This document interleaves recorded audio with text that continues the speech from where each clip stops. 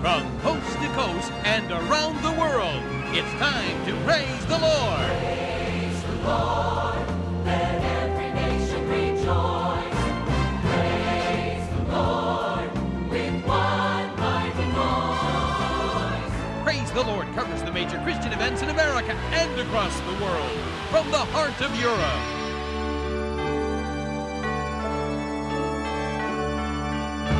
To the tip of Africa.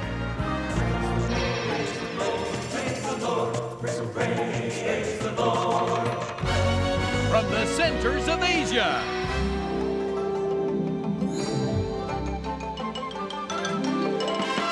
To Central and South America.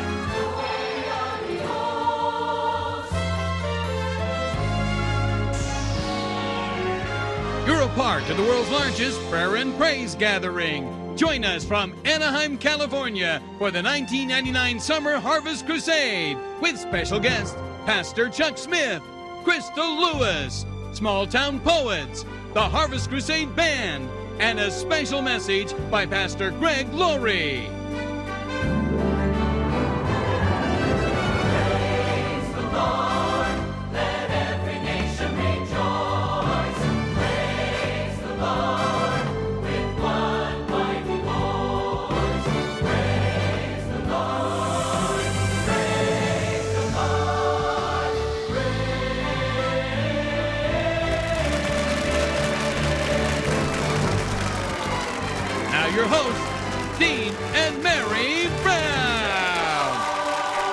Welcome to Anaheim, California, the 10th anniversary of the Harvest Crusade, right here at the Edison Field, the home of the Anaheim Angels. the Anaheim Angels. Is where they play ball. And tonight we're going to be having church, and we're inviting you to stay with us for uh, a great, great evening of preaching and the singing of the gospel. And we believe that you're going to be challenged. For many years now, your TBN station, the Praise the Lord program, to be specific, has covered the Harvest Crusade with Pastor Greg Laurie, and we have seen God do some marvelous things. He's just, we've seen these people walk out on the fields and lives be transformed, and I'm convinced that tonight's going to be no different.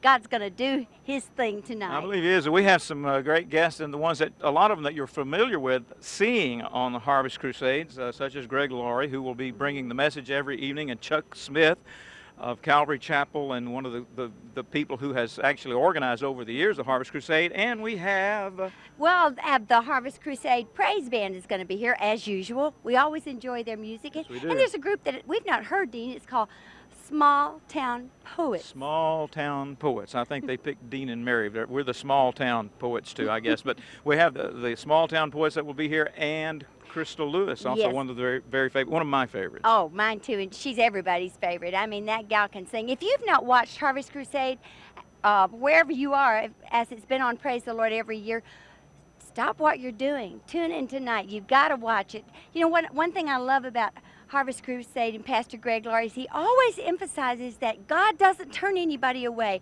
no matter what you've done or where you've been or what a failure you think you are.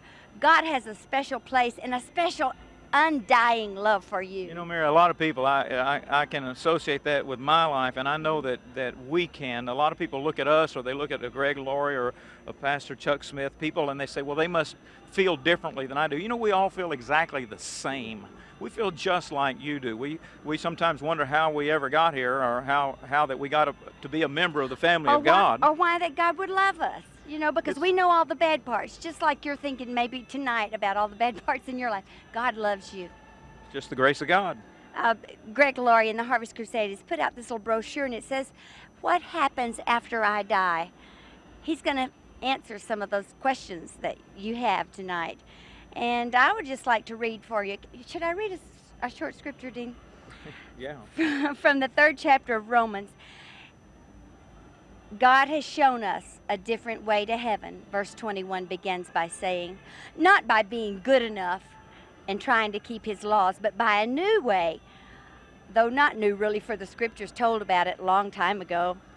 Now God says he will accept and acquit us, declare us not guilty if we trust Jesus Christ to take away our sins.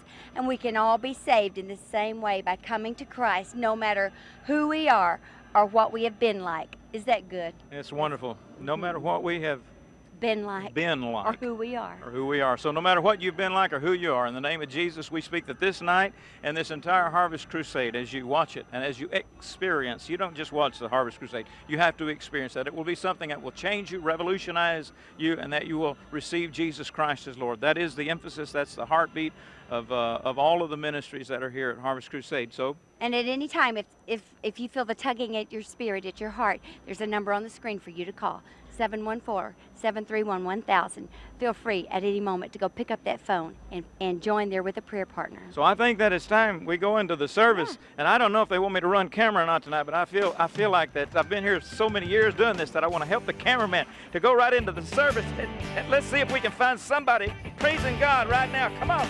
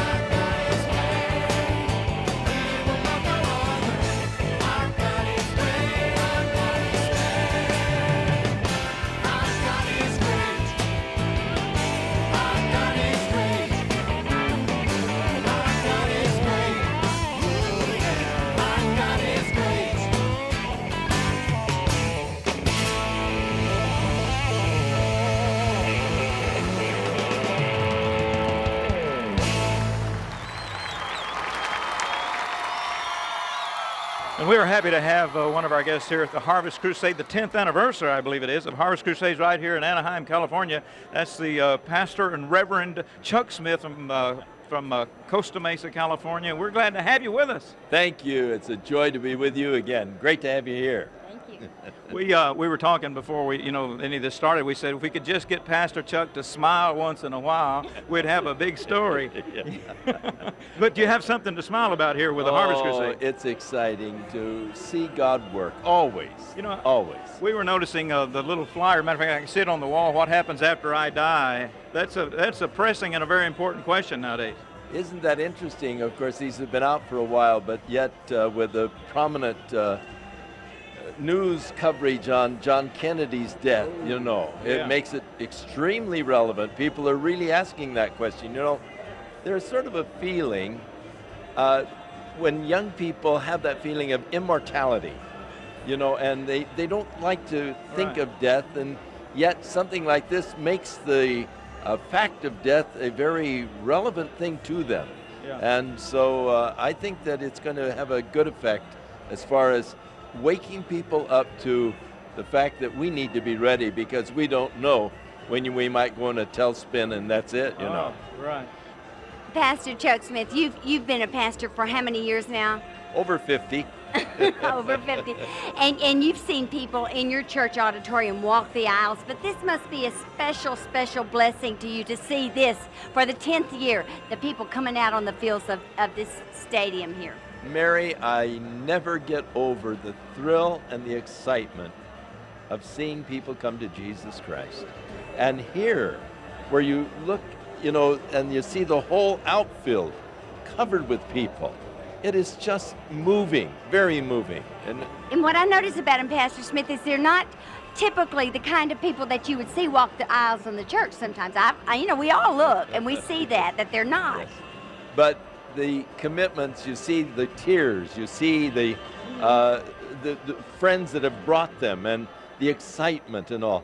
And it is just a very moving experience. Just great.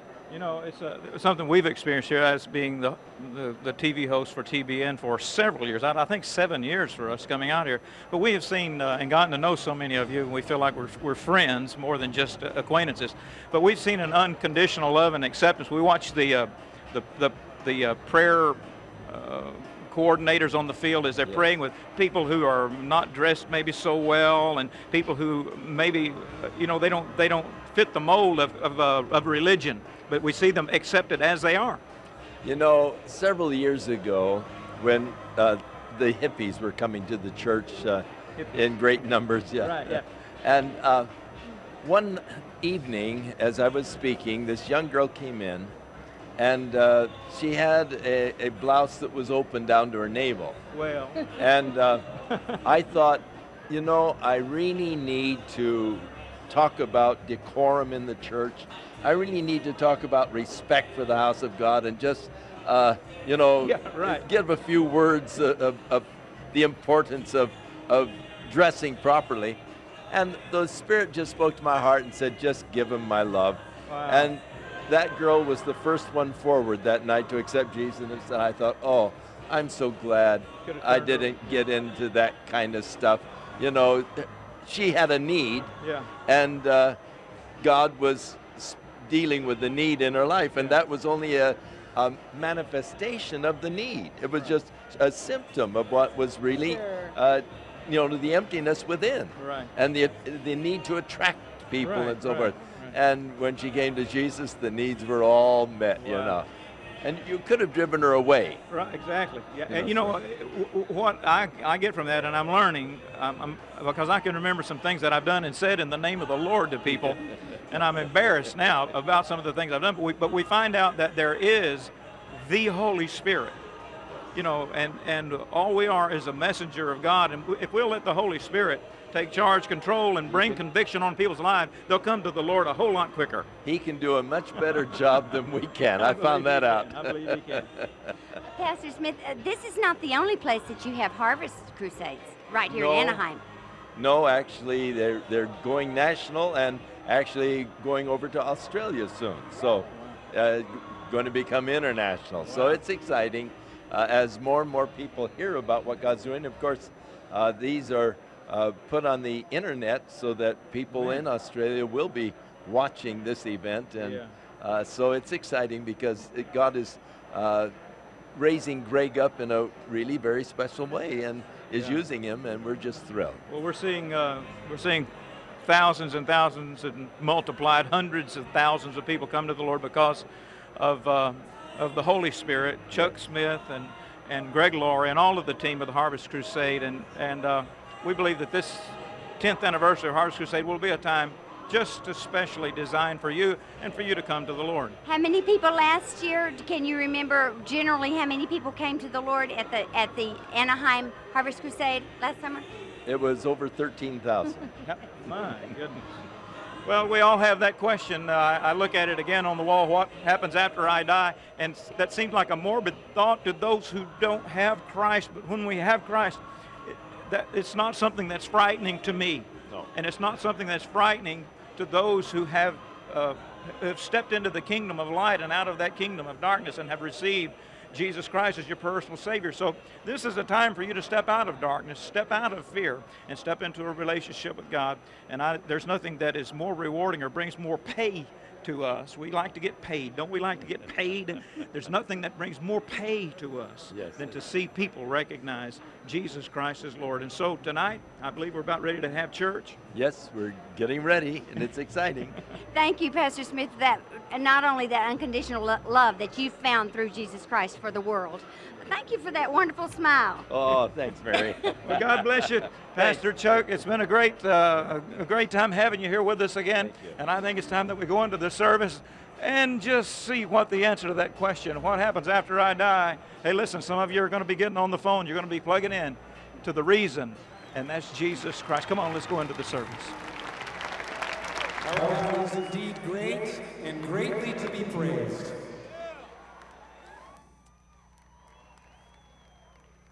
We've come here tonight to introduce many of you for the first time to the only rock that you can build your life upon. And that rock isn't a thing, it's a person, and his name is Jesus Christ. We're going to celebrate him right now.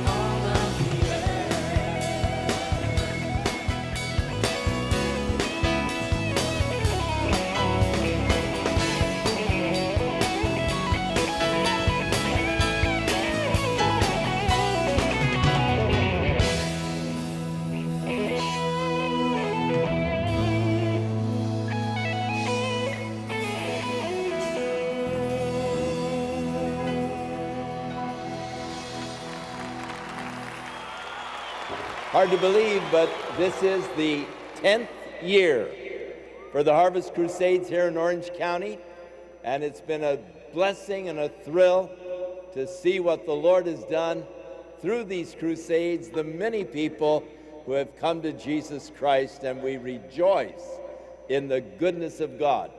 And we're so glad that you're here tonight, and we're looking forward to the next two nights after tonight as we just expect God to be doing wonderful things in our midst, and it's just a joy to be a part of what God is doing. We're glad you're here, but we're also glad that the Lord is here. And we're going to ask Pastor Graydon Jessup of the Eastside Christian Church to come and ask God's blessing upon this crusade this year. Shall we stand for prayer?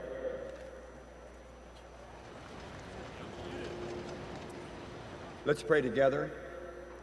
Holy Father, in the name of Jesus Christ, we come into your presence in this great place to worship and honor you.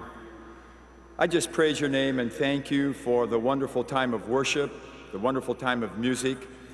And I pray that as we enter into speaking and teaching and decision making, that Father, that you would be in the very center of everything that is done in this place. I pray, Father, that this would become a holy place, that it would be a place where your presence would reign supreme. We have prayed for this crusade, we have prepared for this crusade, and now it's time to deliver. Father, I pray especially for Greg as he brings the word, as he speaks to us from his heart and from the scripture. May we have a fresh vision of Jesus Christ. And even though there's a large crowd, I pray that each of us individually would be able to hear specifically what he is saying. And may your Holy Spirit draw that word to our hearts and to our minds. And Father, I pray it would be almost like as if Greg were sitting across the table and chatting with us over a cup of coffee. May you take that implanted word, and Father, may you be able to do with it what only you can do. So we pray your blessing on everything that is sung and said and done in this place.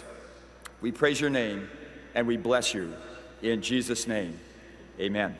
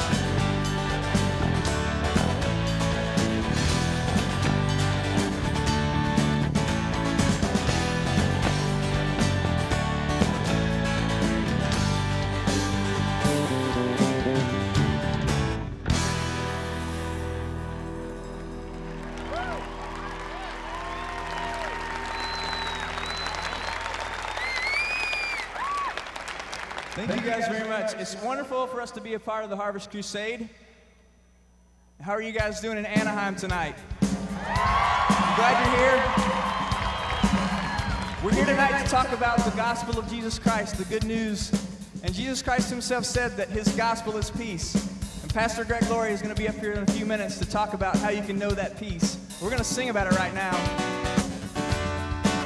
We'd like for you to sing with us. So try this.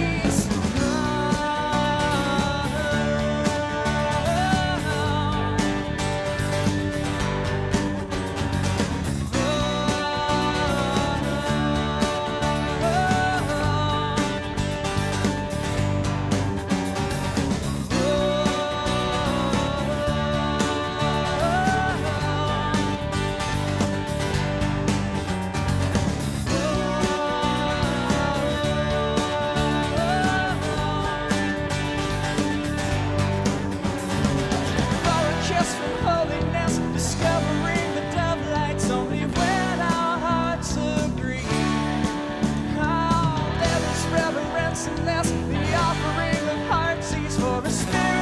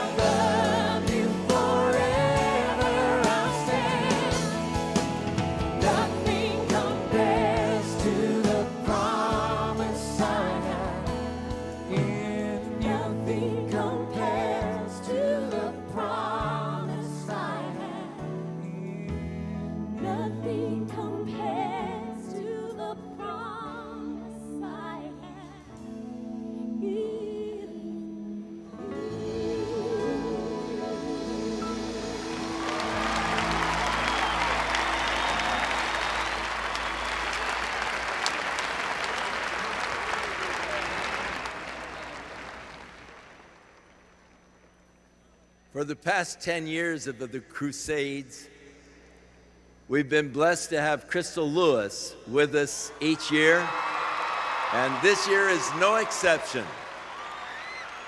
We've all grown to love her and to appreciate her marvelous music. It's inspired us, and she's here tonight to sing again.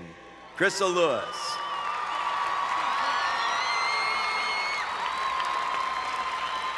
I grew up in the church, and my dad was a pastor, and I still was a brat. I know you don't believe that, do you? I, I um, still had to come to a place where I decided Jesus is what I need. I knew him, and I knew what he could do because I saw him do it in the lives of people in my dad's church. But I had to come to a place myself of saying, Oh, God, I need you. I surrender and I want to be totally different.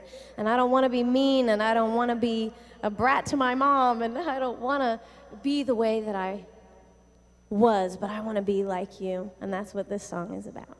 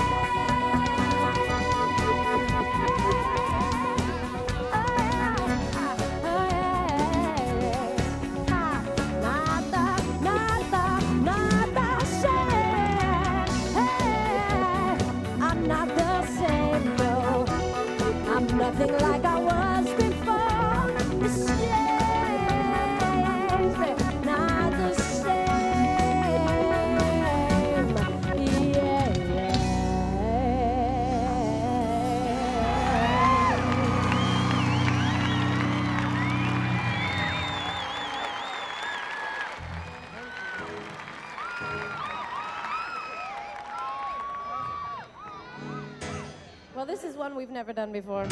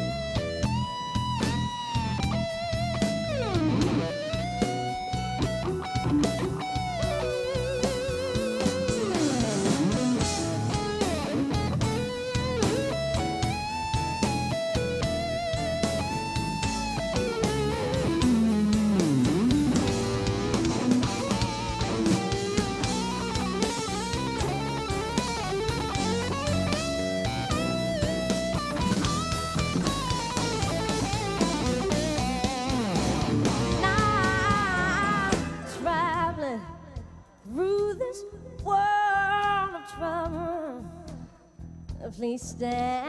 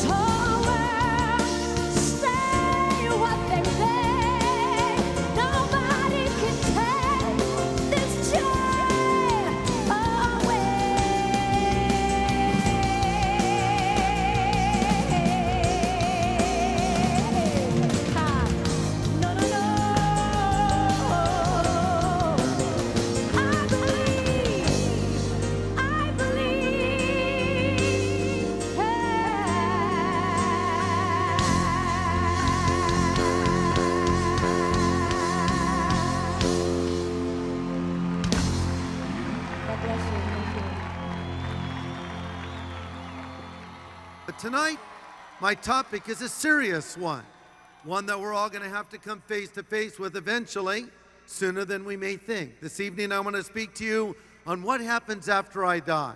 But before I begin this message, I'd like to show you a little video. We shot this out in the streets in the last two days, and we asked people on the street the simple question What do you think will happen after you die?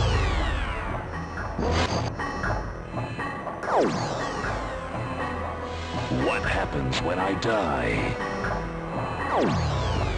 I have two different philosophies about that. Maybe they come back um, as something else, depending on what they did in their previous life, or maybe they go into a different plane that we don't know about. Well, I believe everybody goes to the same place, whether you believe in God or not. Well, everyone's going to be judged. I think we all started from a little organism in the earth, and I hope to feed that organism when I go. I've seen better days. They bury me and I uh, get eaten by worms. I've seen better days. I don't know. I haven't died yet. They bury you. I haven't really gave it much thought. If You do bad things, you might go to purgatory. Come back as another good person.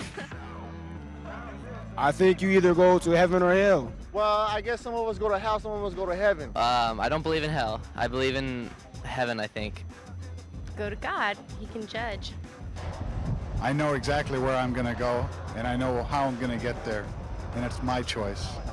I I don't believe in an afterlife. I just believe you're just up there. Your soul is just up there. This is the end. I think you're reincarnated till you learn all the lessons that you need to learn and you reach the highest level and then you're in nirvana. This is the end. Now, our existence here is only one level and only one universe, and there could be millions of them parallel to ours that we don't know about, and then when we die, we go from one to the other. You get pumped full of sherm, and that's just like the best high you can get. I believe that our souls go somewhere, but I don't really know where. I don't know what it is. I don't really have an opinion about it yet. Stay there, come back, or go somewhere else. Mm, well, I, I strongly believe I'll go into my next life. I don't really think anything happens, you know? Um, but then again, I can't say for sure. I mean, how are we to know? I mean, I didn't know where I came from before I was born, so how do I know where I'm going to go after I die? This is the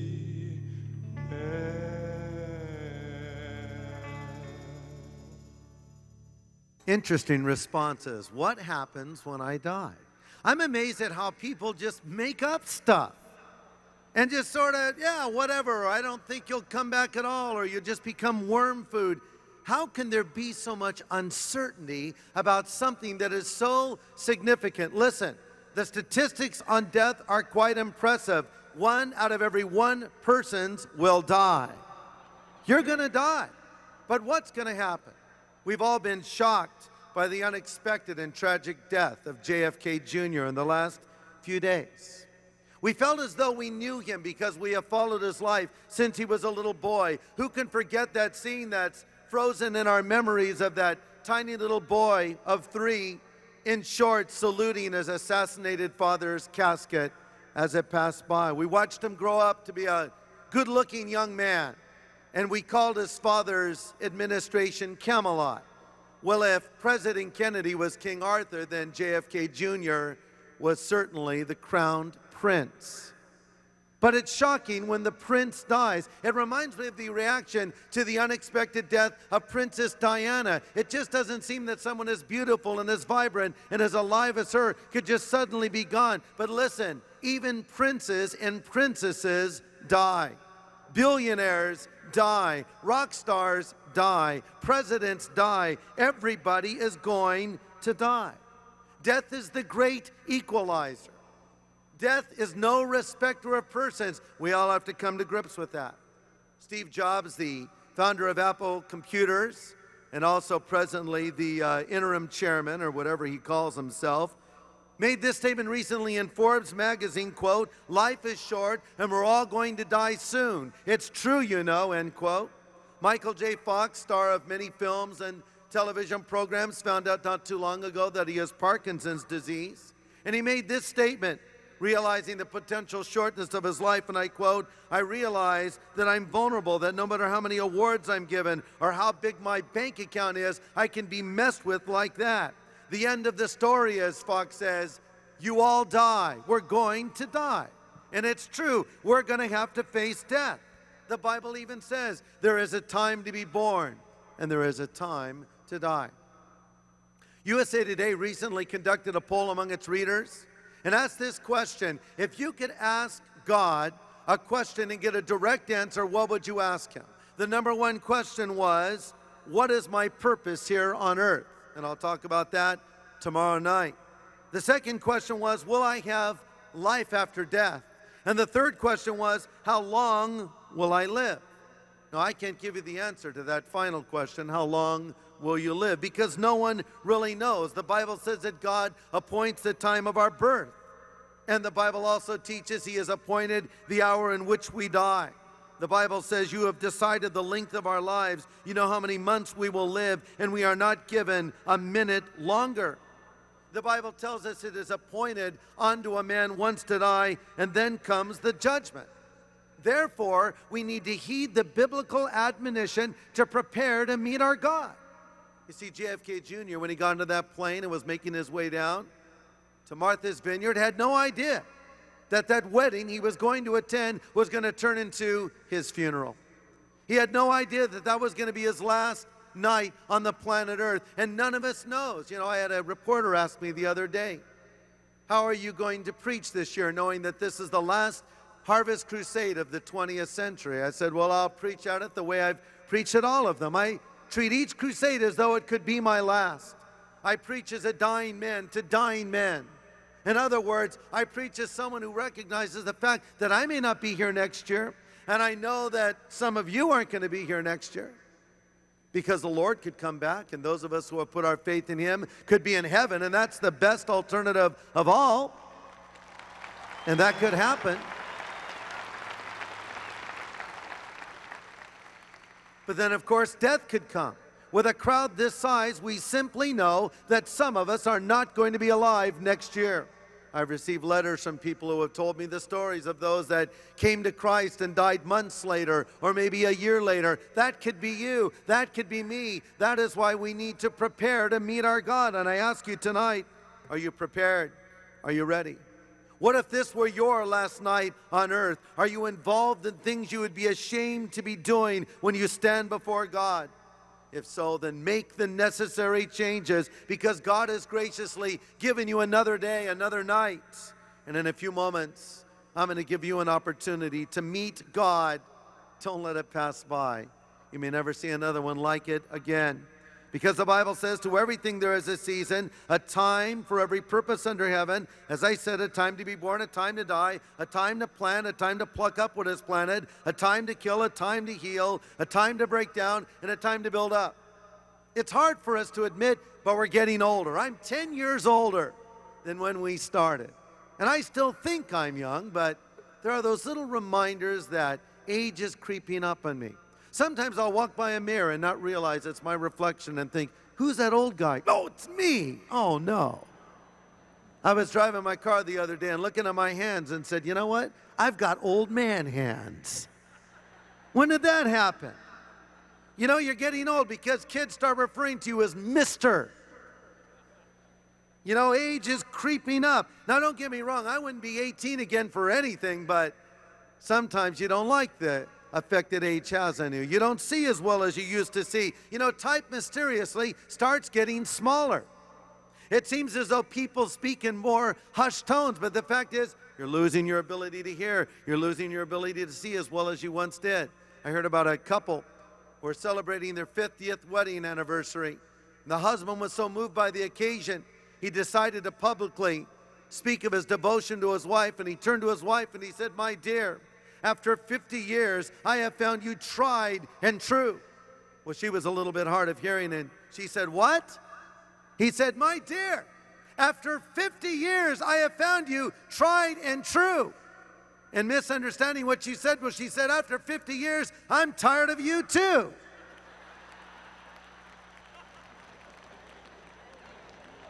You see, when you're young, you like change, you like adventure, you like excitement. But you know what? When you get older, you start liking routine, sameness, knowing what to expect, right? You can see this by the way adults and kids go to Disneyland. I mean, when you get to Disneyland as a kid, and as soon as you get in, what do you want to do? You want to run to the most radical ride in the park and get on it. And then after you're done, get in line and go on it again. When you're an adult, you want to go eat. Where are the restaurants? When you're young, after you've ridden the most radical ride, you want to go play a video game or do something else exciting. When you're older, you want to go sleep to digest what you ate a little bit earlier. When you're young, you want to go to Tomorrowland. When you're older, you'd go to Yesterdayland if there was one. You'll say things like, I remember when Walt was around. Yeah, those were the days. Time is marching on. We're getting older. But the big question is what happens after we die? What happens after this body ceases to exist? I mean, in one sense, one of those people said it's true. We become worm food. I hate to be so blunt, but it's true. The body ceases to exist, but the real you, the soul, continues on. I heard the story about a man who lived in Chicago and it was a very cold winter and he wanted to go to a warmer climate, so he decided to vacation in Florida. His wife was on a business trip and she was going to join him a day later. So after his arrival in sunny Florida, he decided to dash off a quick email to his wife. But he couldn't remember her email address, so he typed it from memory. But unfortunately, the email that he sent did not go to his wife, but it went to a grieving widow who had just lost her husband. He had died two days earlier. And so she checks her email and she saw this message on the screen and she thought it was from her deceased husband and she let out a loud shriek. Her family members came rushing in. What is it? And they looked on the screen and saw this message Dearest wife, just checked in. Everything is ready for your arrival tomorrow. P.S. It sure is hot down here.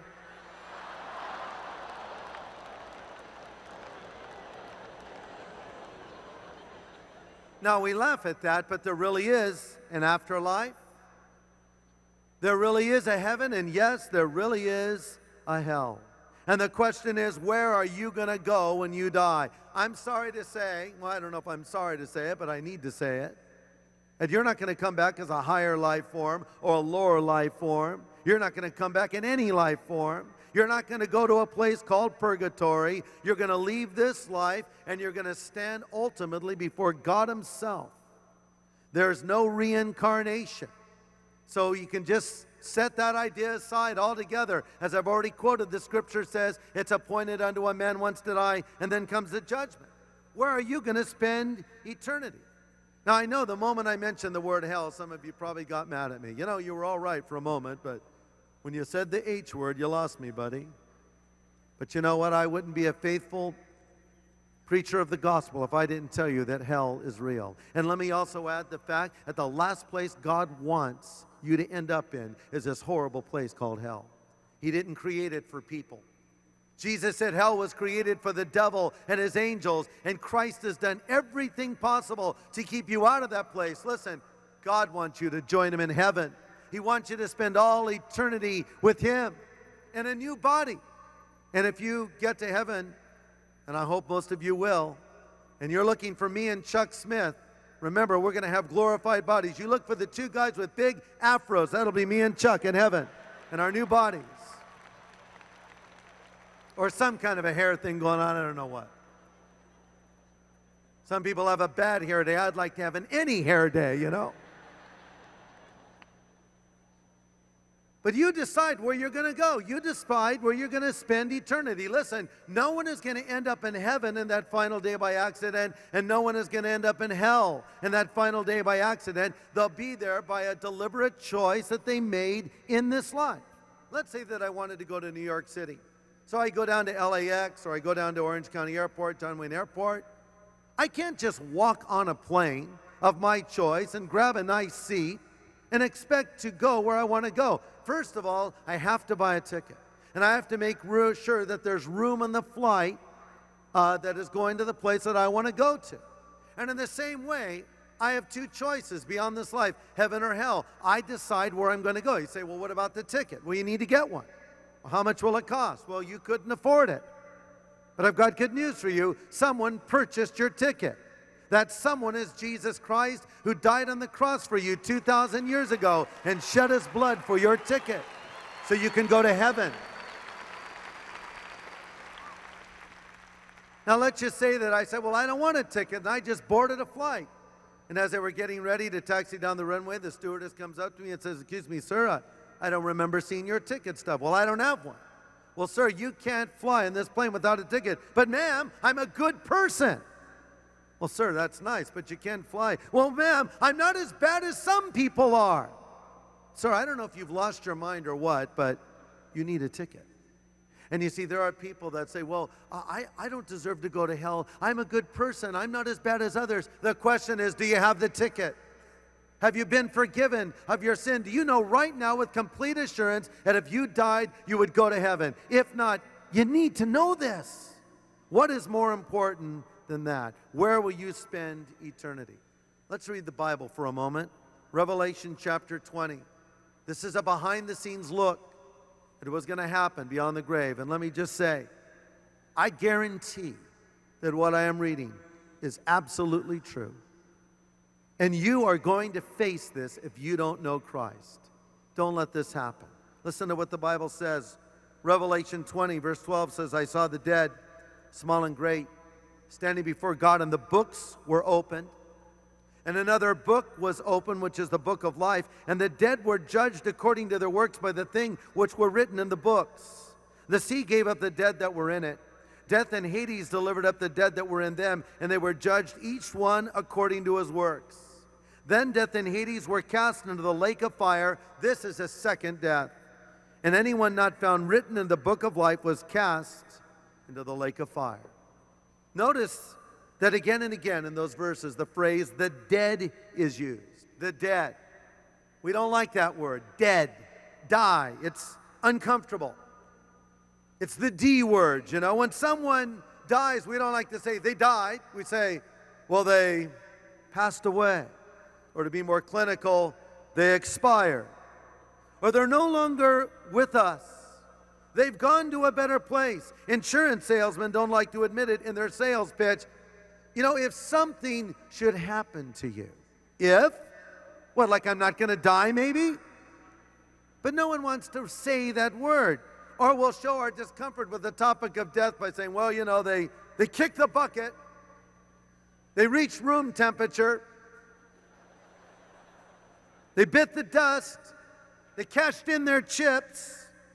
And these very terms show that we are very uncomfortable with the topic of death. It baffles us. It frightens us. Why? Because we're afraid to die. The Bible speaks of those who are held in slavery by fear of death. It's the fear of the unknown the fear of what is out there that I can't see. In the dome of the Capitol building in Washington, D.C., these words are written quote, one God, one law, one element, and one far off divine event to which the whole creation moves. And that one event is the judgment. And that's what we're reading about right here. John, who writes these words that were given to him by Jesus, says, I saw the dead, small and great, standing before God. As I already said, death is no respecter of persons. You may have been a superstar on earth, someone powerful, someone famous, someone not known at all. But death is that great equalizer. And then there's the judgment. And know that the Bible speaks often of a future judgment. Now you may say, I don't believe in a judgment. I don't believe in hell. I don't believe. Well, you can say whatever you want, but the reality is judgment is there. And hell is there and you're going to have to face it. The Bible says in the book of Acts that God has appointed a day in which he will judge the world in righteousness by that man whom he has ordained. He has given assurance of this by raising him from the dead. 2 Peter 2 says, The Lord knows how to rescue godly men from trials and hold the unrighteous for the day of judgment while continuing their punishment. This is especially true of those who follow the corrupt desire of their sinful nature. Jesus said, I say to you that every idle word that a man will speak, he'll give an account of on the day of judgment. Now, on one hand, we like the idea of a future judgment because that means that all the bad guys that have ripped us off are going to get theirs, right? Yeah, you got me now, but your day's coming, man. Judgment day. But we don't like to think about ourselves on that judgment day. But know this God keeps very accurate records, and the Bible says the wrongdoer will be paid back for every wrong he has done.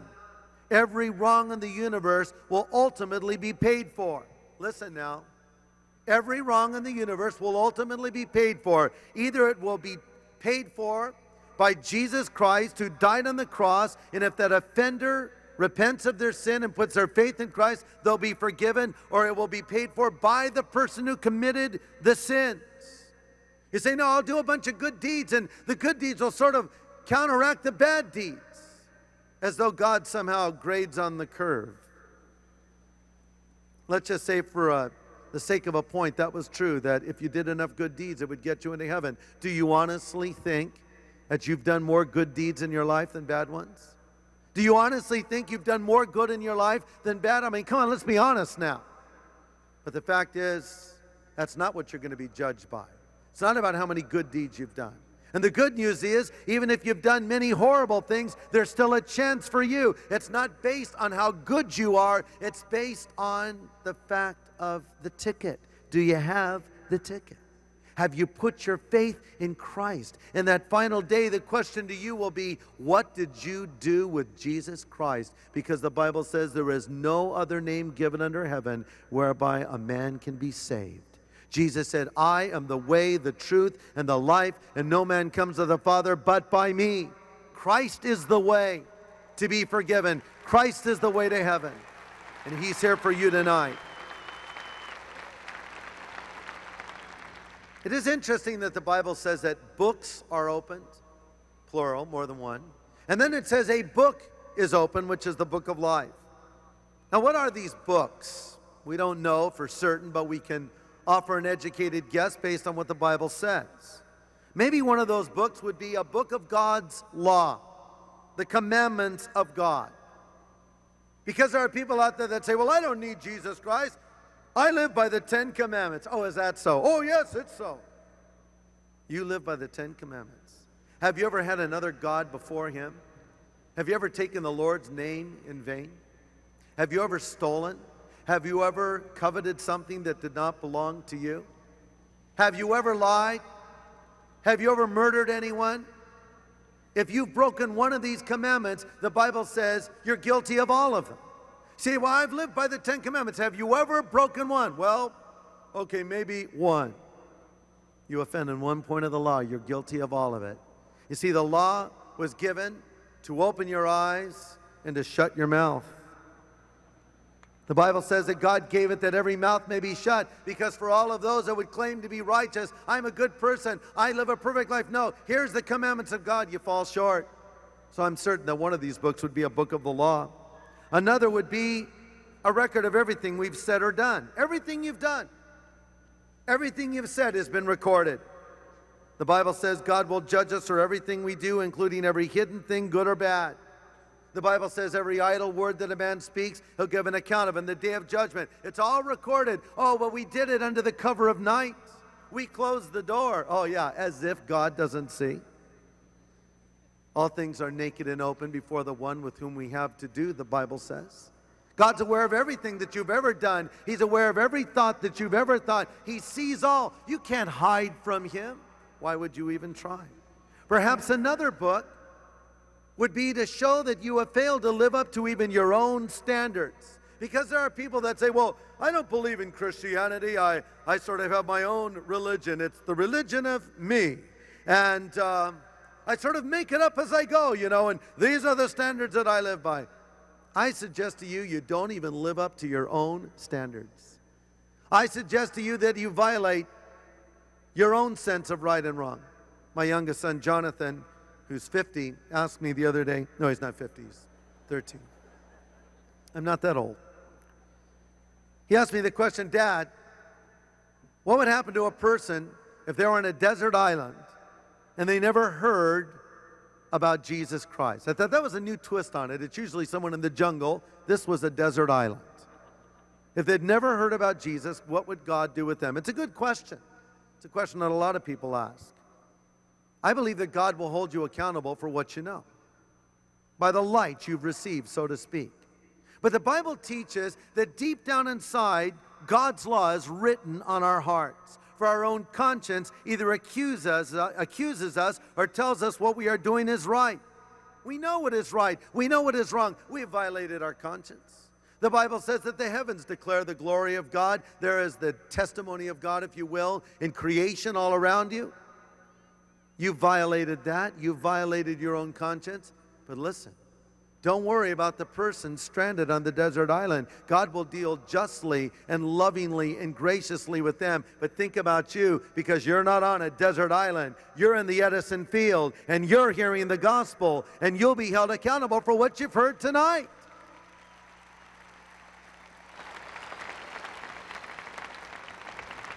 You might ask, well, what do you mean by that? What I mean is, you're going to be held accountable for what you've heard. Here's what you've heard. In case you haven't heard it, let me say it again.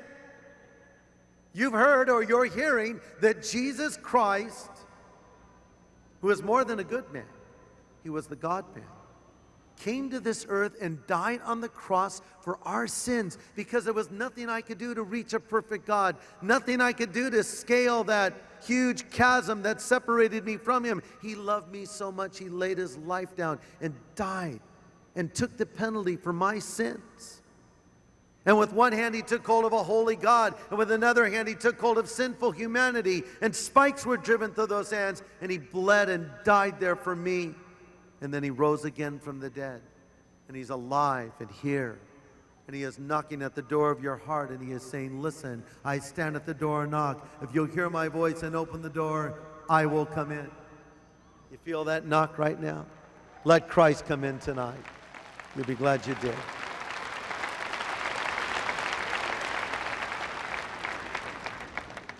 This verse 15 of this uh, text I just read says, Anyone not found written in the book of life was cast into the lake of fire. This is the second death. You might ask, what do you mean by the second death? Let me simplify it. Born once, die twice. Born twice, die once. Does that make sense? If it doesn't, let me explain it.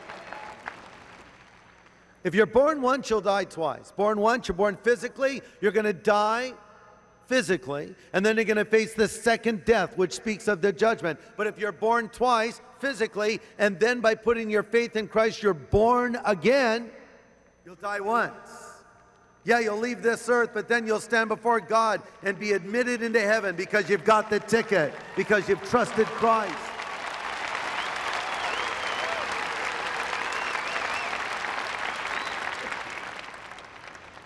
It's your choice. It's entirely up to you.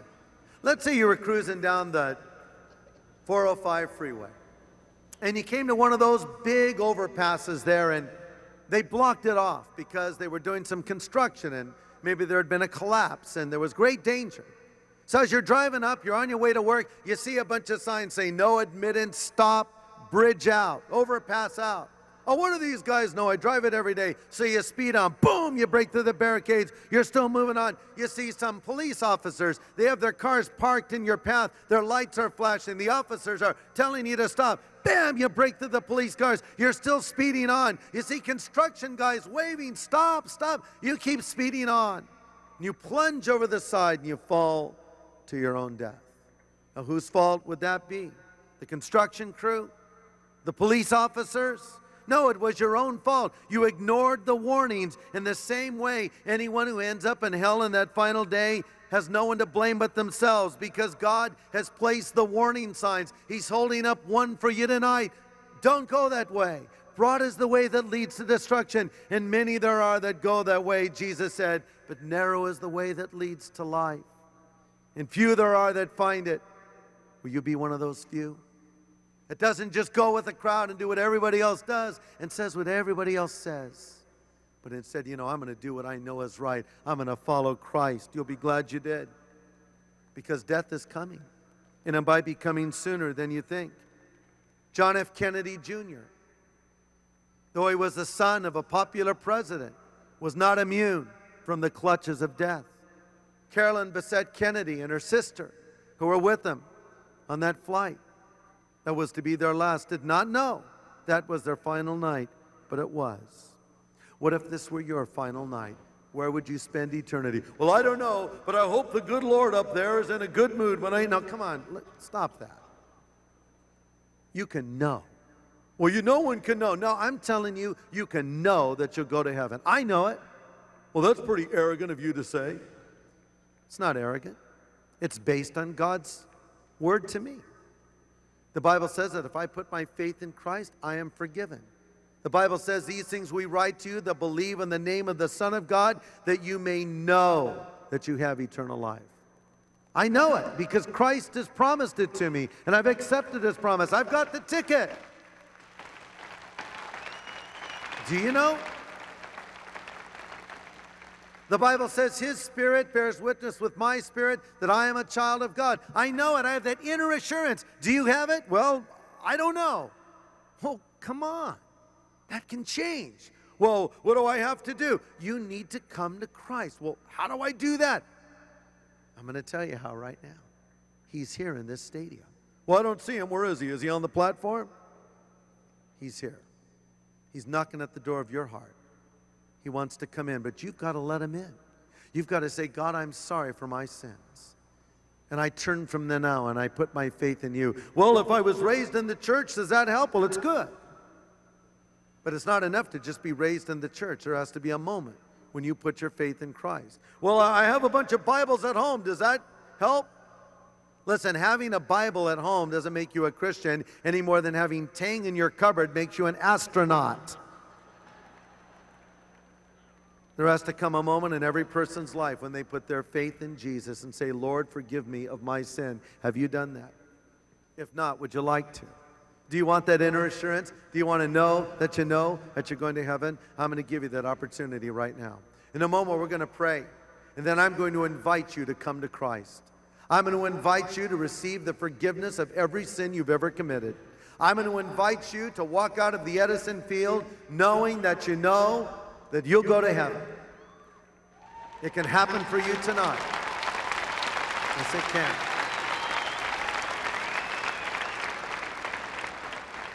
I'm going to invite you to have that emptiness that's inside of you filled with Christ. That hole in your heart you've tried to fill with drugs, or with alcohol, or with partying, or with sex, or with possessions, or accomplishments, or relationships. God holds the missing piece you've been searching for. I'm going to invite you to come to Christ. And I'm going to invite some of you prodigal sons and daughters out there tonight that knew the Lord at one time, but have gone astray to come back home tonight to the Lord. So you be thinking about what you're going to do. Let's all pray. Father, we thank you tonight that your word is true. We thank you that you love us so much you sent your son, Jesus Christ, to die on the cross for us. Now we pray for those here that do not yet know you those here who have not put their faith in you, those who are not yet ready to die. Lord, help them to see their need for you. Help them to come to you. And speak to those, Lord, who've gone astray that need to come back home again tonight. Work now in our midst and bring many into your kingdom. We pray in Jesus' name. Amen. Listen, here's what's needed right now. Here's what you need to do. Do you want to be forgiven of your sin? In a moment, I'm going to ask you to do what thousands have done over these past 10 years in this very stadium. I'm going to ask you in a moment if you want Christ to come into your life, if you want the forgiveness of sin, to get up out of your seat and to come down to this field behind the stage. And then when you all get down here, I'm going to lead you in a prayer of commitment to Christ. You might ask, well, what do I need to get up and go down to a field? Well, it's a way to publicly state that you mean business. Jesus said, if you will acknowledge me before people, I will acknowledge you before the Father and the angels in heaven. But he said, if you deny me before people, I will deny you before the Father and the angels. I'm going to ask you to make a public stand for Christ. And this is a way to do that. No matter what you've done, how many sins you've committed, God will pardon you. God will accept you but you must come. You say, Well, Greg, I'm getting on in years. You know, I'm one of those older folks you described. And, well, Greg, you can't teach an old dog new tricks. Well, I've got good news for you. You're not a dog, and these aren't tricks. You're a person made in God's image, and He can change you tonight if you'll come to Him.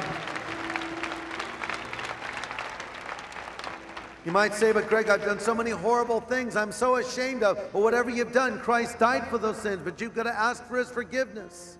You might say, well, I'm a good person and I think I've lived a good life. That's fine, but you're not good enough.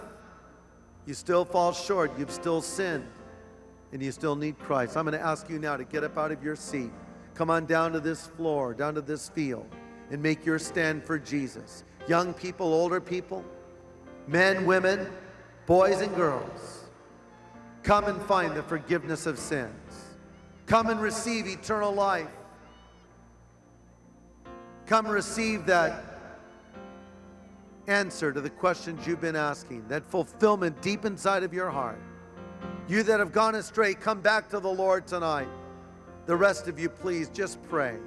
Pray for these that are making this decision. Come with your sins, come with your problems, come with your shortcomings. Come just as you are as Crystal sings for you.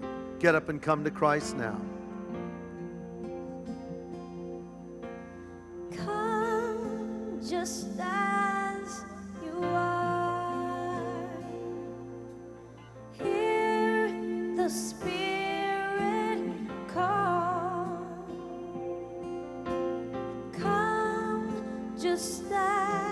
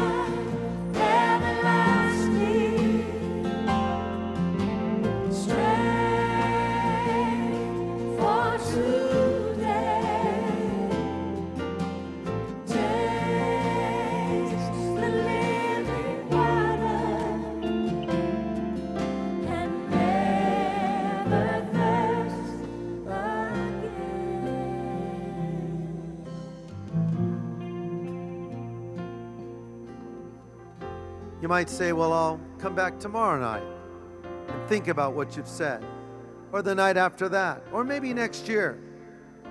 Well, you're certainly welcome to come back. But what guarantee do you have that there will be a tomorrow night for you? You might say, Oh, trying to use scare tactics on us now? No. You see, there's a day when all of us are going to die.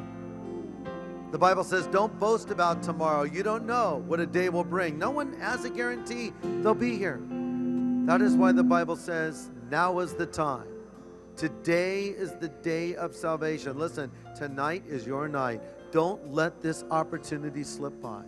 Now, maybe there's a big old long line right now, but hey, listen, we're in Southern California. We're used to lines. This is a line worth waiting in.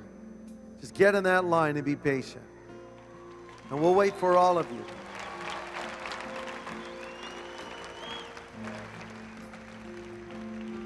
There might be some of you way up there in the very tippy top.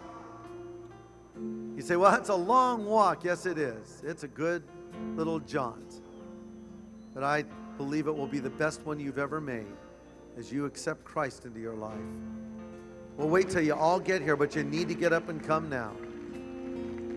Come just as you are. We're waiting for you. More importantly, God's waiting for you. Get up and come. Come just as you are.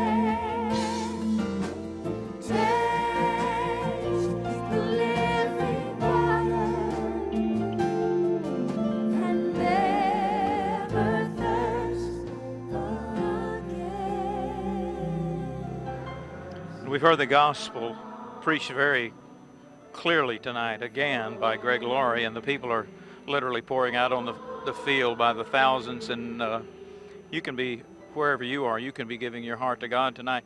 And he preached on a, a subject that we're, we'll all deal with: what happens to me after after I die. We don't think we're going to die, but but Don't, don't like to think about it, period. right. You know what he said tonight? He said that statistics have proven that one out of every one Yes, dies. everybody, uh, and and we never know when. We don't want to think about it. We don't we don't like to deal with it. It's not a pleasant thing, especially if you don't know where you're going or what's going to happen to you when you die. But these people are settling it tonight. Look at the people. Look at them coming on the fields, and I've, I've, I've watched them, Dean. I've seen the tears running down their cheeks, just totally moved. Uh, Pastor Greg Laurie has preached it so simply, Yeah. yet so pointed.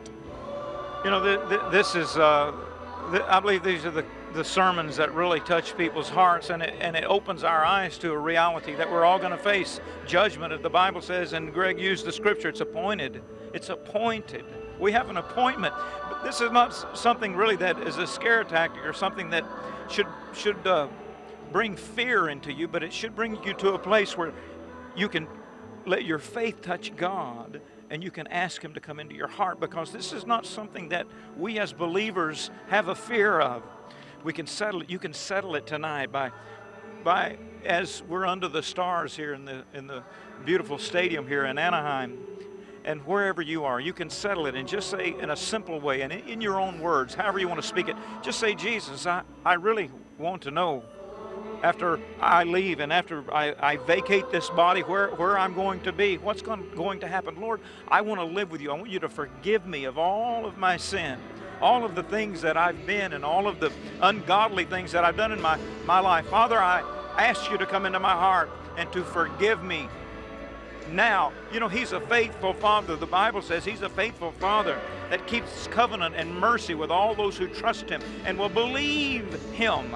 There's not anything that touches His heart more than for you to say, Father, I trust you. Father, I believe you, and I'm ready to receive you now. If you've said that prayer, if you've called on Him, there's a number that's on your screen 714 731 1000. We'll put you in touch with somebody who can even solidify that further in your heart and in your life. When we come to Jesus, just like all these people, these hundreds and hundreds and hundreds of people are doing tonight on the Anaheim Angels playing field. Yes. When we come to Jesus, it really puts us all on the same level.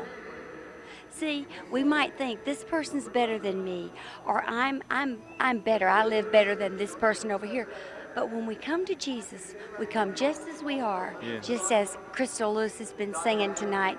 We come just like we are, and puts us all on the same level. And on that very same level, Jesus opens up his arms and he accepts us Yes. with love that we can't even comprehend up here in our minds, but yet mm. he loves you that much. Mm. He loves you that much. So this is your very special night You under know- the stars. You know what I see as we were even closing here for the for the Harvest Crusade for the Stars Night, I see a big sign that says Korean section. I see signs around that that uh, has the Spanish section. I see the signs around Espanol right uh, there. uh, you know, Japanese, all of us, we're, we're all the same. You know, our culture doesn't make us different. We all have to come to that place of recognizing Jesus Savior. Christ as Lord, a Savior, the Savior, Jesus Christ. Have you called on Him? Right now, he, he's, he's waiting. It's been a great night of music and inspiration. We have some more uh, coming uh, the next couple of nights. So, so please, uh, if, if you've never not settled this question, or you have friends or family, someone that that you uh, you know needs to come into the kingdom of God, I believe this these sermons that Greg Laurie is preaching will certainly bring them to a place of realization they need God. This, this field right here that we are standing on, literally, is the playing field of the Anaheim Angels baseball team. But tonight, this is no game. This is for eternity, forever and ever and ever. What will happen to you after you die?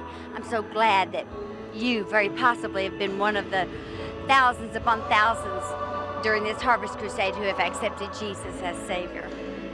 So uh, stay with us for tomorrow evening and the next few nights for Harvest Crusade 1999, the last Harvest Crusade of this century. And listen, before this century is over, before this night is over, before this program is over, you can settle things with the Lord Jesus Christ. It's been a great evening, and we've had a lot of fun, and especially when people have come into the kingdom of God. So, Don't God, forget to call and let us know. yes, God bless you. We'll see you right here again tomorrow night for more of Harvest Crusade And let every- 1999. and let everything that hath breath praise the Lord. Forgive me, oh Lord, forgive me. And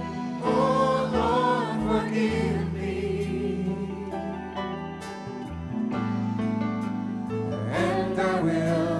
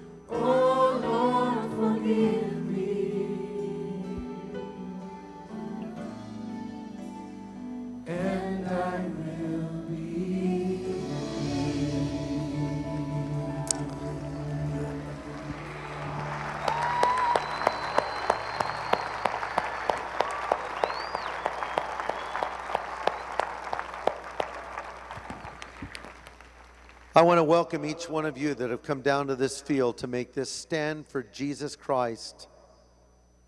In a moment, I'm going to lead you in a word of prayer. Can you all hear me down here? All right. I'm going to lead you in a prayer, and I'm going to ask that as I pray this prayer, you would pray it out loud after me. And this is where you are asking Jesus Christ to come into your heart to be your Savior and Lord. It's a prayer only you can pray. Someone else cannot pray it for you. So mean it from your heart and pray it out loud with me now. And this is where you are asking for God's forgiveness, okay? Pray this with me right now. Pray this out loud. God, I'm sorry for my sin. And I turn from it tonight. I thank you for sending Jesus to die on the cross and to shed his blood for every sin I've ever committed. Jesus, come into my heart. Be my Savior. Be my Lord. Be my God. Be my friend. Fill me with your Spirit and help me to follow you from this night forward as your disciple. Thank you for accepting me and forgiving me. In Jesus' name I pray. Amen. Amen. God bless each one of you.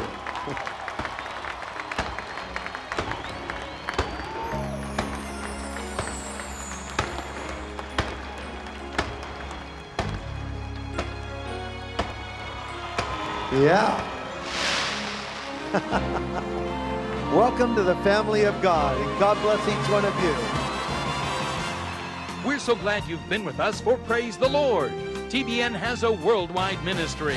We need your love gifts, large or small, to help keep the gospel of Jesus Christ going around the world. So write today, Praise the Lord, P.O. Box A, Santa Ana, California, 92711. Or in Canada Write TBN, P.O. Box 768, Station B, Ottawa, Ontario, K1P 5P8. If you haven't asked Christ into your life, call our prayer partner now and pray to receive Jesus as Savior and Lord. Now, until next time, remember, to praise the Lord.